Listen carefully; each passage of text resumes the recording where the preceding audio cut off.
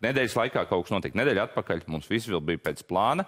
Mēs bijām saplānojuši runāt, saplānojuši uh, skatīties un apspriest šos modeļus. Un faktiski šobrīd uh, viss ir apstājies. Uh, un pilnīgi neizskaidrojam, kas šādu lēmumu pieņem, kas ir pa nedēļas laiku noticis, kāpēc divu gadu darbs ir vējā.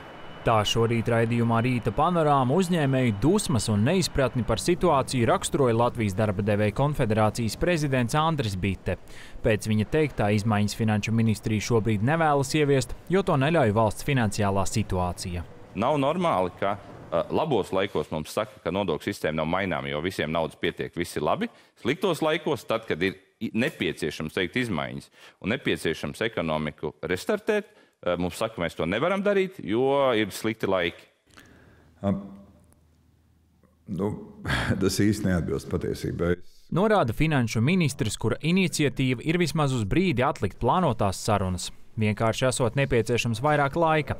Sarunas turpināšoties vasarā. Mēs šeit strādājam pie potenciālā, teiksim tā, arī šo nodokļu sistēmas izmaiņu scenāriju, bet pie tāda, ko valsts var atļauties. Ja, valsts var atļauties. Tā kā, to mēs arī pateicām, ka mums vajag laiku, lai, lai šo saliktu kopā. Tas maina to, to no kopējo narratīvu. Mēs domājam, ka mēs to varēsim ātrāk, bet mēs redzam, ka tā situācija ir ļoti dinamiska ekonomikā. Ja. Jaunās vienotības koalīcijas partneri ZZS un progresīvie respektē to, ka iekšējām diskusijām nepieciešams ilgāks laiks, taču lielu kavēšanos nevēlas pieļaut. Tas darbs ir tiešām ļoti apjomīgs. Ir daudz kas izdarīts, bet patiesībā vēl ir gan daudz neskaidrības, kuras ir jākalibrē, jāsamērogo, jāsaprot, kuru striķīti paraustot, kādi ir efekti visos citos trauciņos. Es būtu vēlējies tomēr šo sarunu jau, jau šobrīd, kā, kā bija iepriekš runāts jau jūnijā. Jo, manuprāt, šis nodokļu jautājums ir viens no svarīgākajiem, kas mums ir šajai valdībai, un, un es vēlos redzēt šīs izmaiņas jau nākamajā nedēļā. Bet, uh, Jebkurā gadījumā, tajā brīdī, kad šīs sarunas atsāksies, mēs viņus turpināsim no savas puses.